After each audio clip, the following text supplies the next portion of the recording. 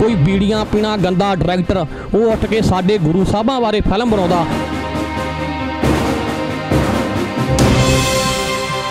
ਇੱਕ ਪੰਜਾਬ ਸਰਕਾਰ ਨੂੰ ਵੱਧਦਾ ਬਜਟ ਸਾਡੀ ਸੋਨੀ ਸੋਨਵਿਟੀ ਦਾ ਹੁੰਦਾ, ਕਿਉਂ ਨਹੀਂ ਅਸੀਂ ਕੋਈ ਆਪਣਾ ਟੀਵੀ ਚੈਨਲ ਖੋਲ ਲੈਂਦੇ ਜਿਹਦੇ ਮਾਧਿਅਮ ਰਾਹੀਂ ਅਸੀਂ ਸਾਰੀ ਸਿੱਖ ਕੌਮ ਨੂੰ ਅਸੀਂ ਦੱਸ ਸਕੀਏ ਵੀ ਆਹ ਜਿਹੜਾ ਕੰਮ ਹੋ ਰਿਹਾ, ਇਹ ਗਲਤ ਹੋ ਰਿਹਾ। ਘੱਟੋ ਘੱਟ ਇਹ ਗੱਲਾਂ ਬਾਅਦ ਸੋਚਣ ਨਾਲੋਂ, ਇਹ ਗੱਲਾਂ ਸਾਨੂੰ ਪਹਿਲਾਂ ਸੋਚਣੀਆਂ ਚਾਹੀਦੀਆਂ। ਇਹ ਜੋ ਸਿੱਖ ਸੰਗਤਾਂ ਦੇ ਨਾਲ ਖਲਵਾੜ ਪਿਛਲੇ ਬਹੁਤ ਲੰਮੇ ਸਮੇਂ ਤੋਂ ਸ਼ੁਰੂ ਹੋਇਆ, ਕਈਆਂ ਰੂਪਾਂ ਦੇ ਵਿੱਚ ਇਹ ਬਦਲਦਾ ਆਇਆ। ਆਖਰ ਇਹ ਜੋ ਹੁਣ ਕਾਰਟੂਨ ਤੱਕ ਪਹੁੰਚ ਗਿਆ ਹੈ। ਗੁਰੂ ਗ੍ਰੰਥ ਸਾਹਿਬ ਤੋਂ ਅਸੀਂ ਉਪਦੇਸ਼ ਲੈਣਾ ਹੈ, ਮੰਨਣਾ ਹੈ। ਨਾ ਮੂਰਤੀਆਂ ਮੰਨਣੀਆਂ ਹਨ, ਨਾ ਇਹ ਫਿਲਮਾਂ ਵੇਖਣੀਆਂ ਹਨ। ਸਾਰੀਆਂ ਸੰਗਤਾਂ ਨੂੰ ਜਿਵੇਂ ਹੁਣ ਵਿਰੋਧ ਹੋ ਰਿਹਾ ਹੈ, ਜਾਗਰੂਕ ਹੋਣ ਦੀ ਲੋੜ ਹੈ। ਹਰ ਇੱਕ ਸਿੱਖ ਦਾ ਇਹ ਫਰਜ਼ ਬਣਦਾ ਹੈ ਕਿ ਐਸੀਆਂ ਫਿਲਮਾਂ ਦਾ ਵਿਰੋਧ ਕੀਤਾ ਜਾਵੇ।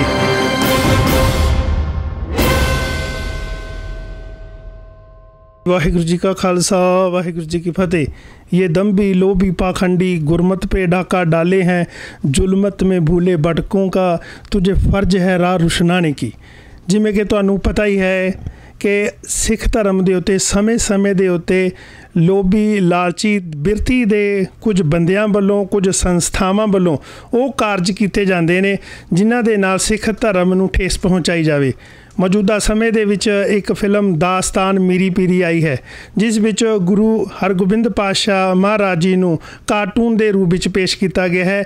ਇਸ ਦੀ ਸ਼ੁਰੂਆਤ ਬੇਸ਼ੱਕ ਨਾਨਕ ਸ਼ਾਹ ਫਕੀਰ ਤੋਂ ਸ਼ੁਰੂ ਹੋਈ ਸੀ। ਸੋ ਅੱਜ ਇਹ ਸਫ਼ਰ ਕਿੱਥੇ ਤੱਕ ਜਾ ਕੇ ਮੁੱਕਦਾ ਹੈ ਤੇ ਸਾਡੇ ਸਾਰਿਆਂ ਦਾ ਇਹ ਫਰਜ਼ ਬਣਦਾ ਹੈ ਕਿ ਅਸੀਂ ਇਸ ਮੂਵੀ ਦਾ ਵੱਧ ਤੋਂ ਵੱਧ ਵਿਰੋਧ ਕੀਤਾ ਜਾਵੇ, ਇਸ ਸਬੰਧ ਵਿੱਚ ਕੈਲੀਫੋਰਨੀਆ ਵਿਖੇ ਅੱਜ ਦੇ ਇਹ ਜਾਗਰੂਕ ਵੀਰਾਂ ਵੱਲੋਂ ਉਪਰਾਲਾ ਕੀਤਾ ਗਿਆ ਸਭ ਤੋਂ ਪਹਿਲੇ ਸੰਗਤ ਜੀ, ਵਾਹਿਗੁਰੂ ਜੀ ਕਾ ਖਾਲਸਾ। ਵਾਹਿਗੁਰੂ ਹਾਂਜੀ, ਜਿਵੇਂ ਆਪ ਜੀ ਨੂੰ ਪਤਾ ਹੈ ਕਿ ਜੋ ਨਾਨਕ ਸ਼ਾਹ ਫਕੀਰ ਤੋਂ ਬਾਅਦ ਜਿਹੜੀ ਫਿਲਮ ਆ ਰਹੀ ਹੈ, ਦਾਸਤਾਨ ਮੀਰੀ ਪੀਰੀ, ਉਹਦੇ ਬਾਰੇ ਤੁਸੀਂ ਕੀ ਕਹਿਣਾ ਚਾਹੁੰਦੇ ਹੋ ਹਾਂਜੀ, ਸਮੂਹ ਸੰਗਤਾਂ ਨੂੰ ਇਹ ਹੱਥ ਜੋੜ ਕੇ ਬੇਨਤੀ ਹੈ, ਇਹ ਜੋ ਸਿੱਖ ਸੰਗਤਾਂ ਦੇ ਨਾਲ ਖਲਵਾੜ ਪਿਛਲੇ ਬਹੁਤ ਲੰਮੇ ਸਮੇਂ ਤੋਂ ਸ਼ੁਰੂ ਹੋਇਆ, ਕਈਆਂ ਰੂਪਾਂ ਦੇ ਵਿੱਚ ਇਹ ਬਦਲਦਾ ਆਇਆ। ਆਖਰ ਇਹ ਜੋ ਹੁਣ ਕਾਰਟੂਨ ਤੱਕ ਪਹੁੰਚ ਗਿਆ ਹੈ। ਸਿੱਖ ਹਮੇਸ਼ਾ ਹੀ ਸ਼ਬਦ ਦਾ ਪੁਜਾਰੀ ਹੈ। ਸ਼ਬਦ ਨੂੰ ਮੰਨਣ ਵਾਲਾ ਹੈ, ਸ਼ਬਦ ਨਾਲ ਜੁੜਨ ਵਾਲਾ ਹੈ, ਸ਼ਬਦ ਸੁਣਨ ਵਾਲਾ ਹੈ। ਸ਼ਬਦ ਸੁਰਤ ਦਾ ਹੀ ਗਿਆਨ ਗੁਰੂ ਨਾਨਕ ਦੇਵ ਜੀ ਸਾਨੂੰ ਦੇ ਕੇ ਗਏ ਹਨ। ਅੱਜ ਅਸੀਂ ਜਦੋਂ ਦੇਖਦੇ ਹਾਂ ਕਿ ਫਿਲਮਾਂ ਰਾਹੀਂ ਇਹ ਜੋ ਇਤਿਹਾਸ ਸੰਗਤਾਂ ਤੱਕ ਪਹੁੰਚਾਉਣਾ ਉਹ ਲੋਕ ਇਤਿਹਾਸ ਇਹ ਸੁਣਾ ਰਹੇ ਹਨ, ਜਿਨ੍ਹਾਂ ਨੂੰ ਇਤਿਹਾਸ ਦੀ ਨਾ ਜਾਣਕਾਰੀ ਹੈ, ਨਾ ਉਹਨਾਂ ਨੇ ਪੜ੍ਹਿਆ ਹੈ। ਸਿਰਫ ਉਹ ਇੱਕ ਪੈਸੇ ਕਮਾਉਣ ਵਾਸਤੇ ਦੁਨੀਆ ਨੂੰ ਆਪਣੇ ਪਿੱਛੇ ਲਾਉਂਦੇ ਹਨ। ਇਹੋ ਜਿਹੀਆਂ ਸਟੋਰੀਆਂ ਬਣਾ ਕੇ ਜੋ ਲੋਕਾਂ ਨੂੰ ਚੰਗੀਆਂ ਲੱਗਣ, ਪਰ ਅਸਲੀਅਤ ਦਾ ਪਤਾ ਨਾ ਲੱਗੇ। ਅਸਲੀਅਤ ਕੀ ਹੈ? ਉਹਦੇ ਪ੍ਰਤੀ ਅਸੀਂ ਹੁਣ ਜਾਗਰੂਕ ਹੋਣਾ ਹੈ ਕਿ ਗੁਰੂ ਨਾਨਕ ਪਾਤਸ਼ਾਹ ਜੀ ਨੇ ਨਾ ਕੋ ਆਪਣੀ ਮੂਰਤ ਕਿਸੇ ਨੂੰ ਬਣਾਉਣ ਦਿੱਤੀ, ਨਾ ਉਹਨਾਂ ਨੇ ਮੂਰਤ ਨਾਲ ਜੁੜਨ ਦਿੱਤਾ। ਪਰ ਅੱਜ ਅਸੀਂ ਜਦੋਂ ਦੇਖਦੇ ਹਾਂ, ਬਹੁਤ ਘਰਾਂ ਦੇ ਵਿੱਚ ਮੂਰਤੀਆਂ ਲੱਗੀਆਂ ਹਨ, ਲੋਕ ਮੱਥਾ ਟੇਕਦੇ ਹਨ, ਲੰਗਰ ਦੇ ਭੋਗ ਲਵਾਉਂਦੇ ਹਨ ਆਪਣੇ ਤੂਫ ਦਿਖਾਉਂਦੇ ਹਨ, ਇਹ ਸਭ ਕੁਝ ਸਾਡਾ ਨਹੀਂ ਹੈ। ਇਹ ਗੁਰੂ ਨਾਨਕ ਦੇ ਘਰ ਦੀ ਮਰਜ਼ਾਦਾ, ਗੁਰੂ ਨਾਨਕ ਦਾ ਸ਼ਬਦ ਨਾਲ ਜੁੜਨ ਵਾਲਾ ਸਿੱਖ ਹਮੇਸ਼ਾ ਹੀ ਇਹਨਾਂ ਤੋਂ ਪਰੇ ਰਹਿੰਦਾ ਹੈ ਤੇ ਗੁਰੂ ਦੇ ਸ਼ਬਦ ਨੂੰ ਮੱਥਾ ਟੇਕਦਾ ਹੈ।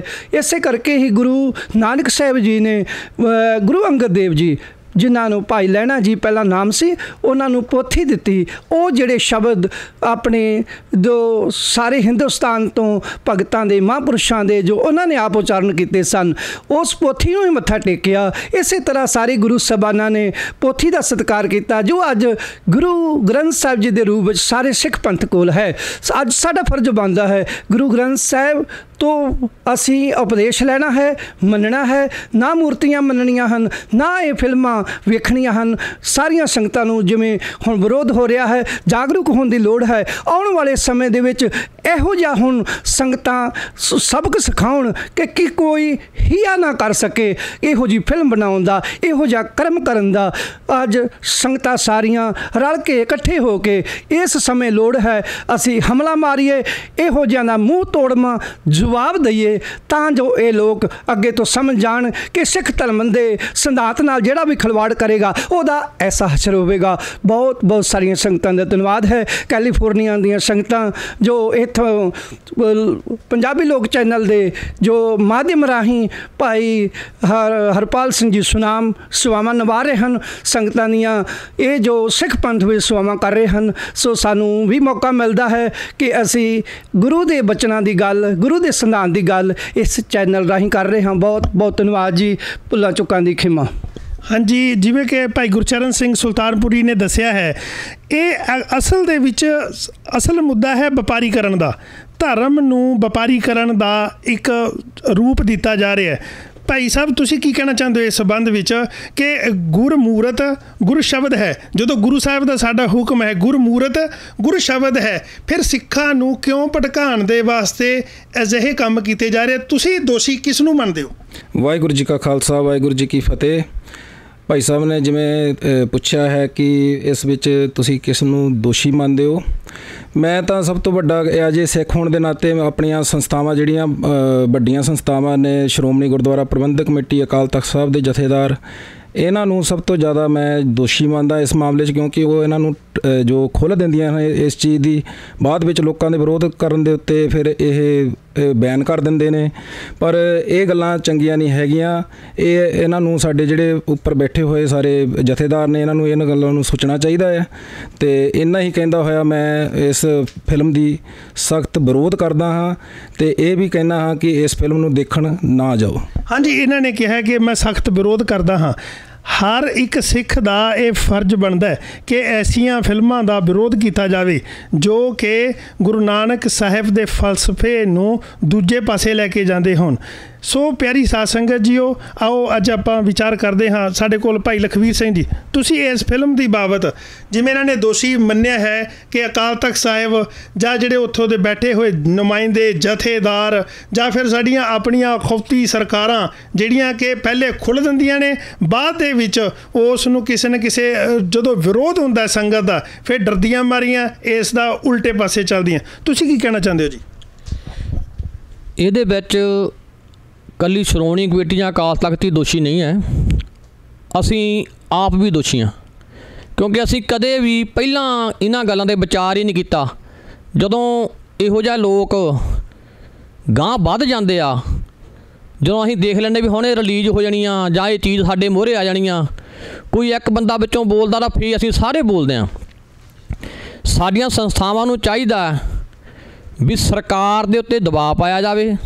ਸਰਕਾਰ ਕੋਈ ਐਸਾ ਕਾਨੂੰਨ ਬਣਾਵੇ ਵੀ ਜਦੋਂ ਕਿ ਇਹੋ ਜਿਹਾ ਗਲਤ ਅਨਸਰ ਕੋਈ ਵਿਪਰਵਾਦੀ ਸੋਚ ਦਾ ਮਾਲਕ ਸਾਡੇ ਗੁਰੂ ਸਾਹਿਬਾਨਾਂ ਉੱਤੇ ਜਾਂ ਸਾਡੇ ਸਿੱਖ ਧਰਮ ਦੇ ਫਲਸਫੇ ਉੱਤੇ ਕੋਈ ਹਮਲਾ ਕਰਦਾ ਤੇ ਸਾਨੂੰ ਉਹਦਾ ਮੂੰਹ ਤੋੜ ਜਵਾਬ ਦੇਣਾ ਚਾਹੀਦਾ। ਸਰਕਾਰ ਇਹੋ ਜਿਹਾ ਕਾਨੂੰਨ ਬਣਾਵੇ ਵੀ ਉਹਨੂੰ ਸਖਤ ਤੋਂ ਸਖਤ ਸਜ਼ਾ ਦਿੱਤੀ ਜਾਵੇ ਤੇ ਗਾਂ ਕਿਸੇ ਦਾ ਹੀਆ ਨਾ ਪਵੇ ਵੀ ਸਾਡੀ ਕੌਮ ਦੇ ਉੱਤੇ ਕੋਈ ਇਹੋ ਜਿਹਾ ਵਾਰ ਕਰੇ।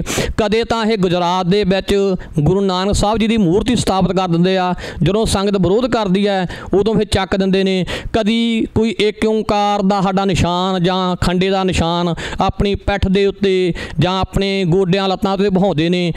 ਉਹਨਾਂ ਲੋਕਾਂ ਨੂੰ ਜੇ ਅਸੀਂ ਮੂੰਹ ਤੋੜ ਜਵਾਬ ਦਿੱਤਾ ਹੋਵੇ, ਇੱਕ ਦੋ ਵਾਰ ਉਹਨਾਂ ਨੂੰ ਐਸੀ ਸਜ਼ਾ ਦਿੱਤੀ ਹੋਵੇ ਵੀ ਉਹ ਮੁੜ ਕੇ ਤੋਬਾ ਕਰਨ, ਉਹਨਾਂ ਨਾਲ ਦੇਖ ਕੇ ਕੋਈ ਐਸਾ ਦੰਭੀ ਪਖੰਡੀ ਹਿਆ ਨਾ ਕਰੇ ਵੀ ਸਾਡੇ ਧਰਮ ਦੇ ਉੱਤੇ ਕੋਈ ਵਾਰ ਕਰ ਸਕੇ। ਇਹ ਅਸੀਂ ਸਾਰੀ ਸਿੱਖ ਕੌਮ ਨੂੰ ਅਪੀਲ ਕਰਦਾ ਹਾਂ ਕਿ ਘੱਟੋ ਘੱਟ ਇਹ ਗੱਲਾਂ ਬਾਅਦ ਸੋਚਣ ਨਾਲੋਂ, ਇਹ ਗੱਲਾਂ ਸਾਨੂੰ ਪਹਿਲਾਂ ਸੋਚਣੀਆਂ ਚਾਹੀਦੀਆਂ ਵੀ ਅਗਾਂਹ ਤੋਂ ਸਰਕਾਰਾਂ ਤੇ ਦਬਾਅ ਪਾਇਆ ਜਾਵੇ, ਸ਼੍ਰੋਮਣੀ ਕਮੇਟੀ ਤੇ ਦਬਾਅ ਪਾਇਆ ਜਾਵੇ, ਸ਼੍ਰੀ ਅਕਾਲ ਤਖਤ ਸਾਹਿਬ ਦੇ ਜਥੇਦਾਰ ਤੇ ਦਬਾਅ ਪਾਇਆ ਜਾਵੇ, ਉਹ ਸਰਕਾਰਾਂ ਨੂੰ ਕਹਿਣ ਸਰਕਾਰਾਂ ਤੇ ਦਬਾਅ ਬਣਾਉਣ। ਬਾਹਰ ਇੱਕ ਬਹੁਤ ਵੱਡੀ ਸੰਸਥਾ ਹੈ ਸ਼੍ਰੋਮਣੀ ਕਮੇਟੀ, ਉਹ ਕੀ ਨਹੀਂ ਕਰ ਸਕਦੀ?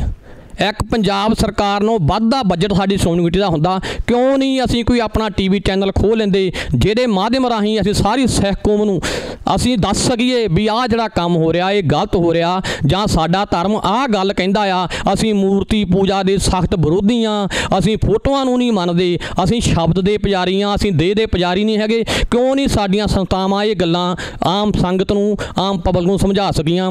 ਕਿਉਂਕਿ ਕੋਈ ਬੀੜੀਆਂ ਪੀਣਾ ਗੰਦਾ ਡਾਇਰੈਕਟਰ ਉਹ ਉੱਠ ਕੇ ਸਾਡੇ ਗੁਰੂ ਸਾਹਿਬਾਂ ਬਾਰੇ ਫਿਲਮ ਬਣਾਉਂਦਾ, ਉਹਨਾਂ ਨੂੰ ਕੋਈ ਹੱਕ ਨਹੀਂ ਵੀ ਸਾਡੇ ਧਰਮ ਦੇ ਉੱਤੇ ਕੋਝਾ ਹਮਲਾ ਕਰਨ। ਸਾਨੂੰ ਉਹਨਾਂ ਦਾ ਸਖਤ ਵਿਰੋਧ ਕਰਨਾ ਚਾਹੀਦਾ। ਇੰਨਾ ਕੁਝ ਕਹਿੰਦਾ ਹੋਇਆ ਮੈਂ ਖਿਮਾ ਜਾਤਕ ਹਾਂ। ਵਾਹਿਗੁਰੂ ਜੀ ਕਾ ਖਾਲਸਾ, ਵਾਹਿਗੁਰੂ ਜੀ ਕੀ ਫਤਿਹ। ਸੋ ਪਰ ਇਸ ਦਾ ਜੇ ਆਪਾਂ ਇਹ ਗੱਲ ਮੰਨੀਏ ਕਿ ਇਸ ਦਾ ਰਾਹ ਪਹਿਲੇ ਗੁਰੂ ਸਾਹਿਬਾਨ ਦੀਆਂ ਫੋਟੋਆਂ ਆਈਆਂ ਉਸ ਤੋਂ ਬਾਅਦ ਮੂਰਤੀਆਂ ਬਣਨੀਆਂ ਸ਼ੁਰੂ ਹੋਈਆਂ। ਹੁਣ ਐਨੀਮੇਸ਼ਨ ਤੇ ਇਹ ਸਾਰੀ ਚੀਜ਼ ਦਾ ਰਾਹ ਜਾਂਦਾ ਕਿੱਥੇ ਹੈ?